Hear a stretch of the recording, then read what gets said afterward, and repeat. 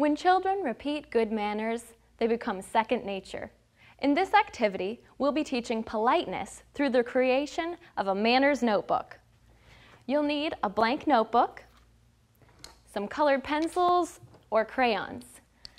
Discuss with your children the manners you want them to employ, such as washing their hands or opening the door for an elderly person. As you discuss manners and the importance of each manner, have the children draw a picture of it. In the future, they can reference their notebook and note when they accomplish each item.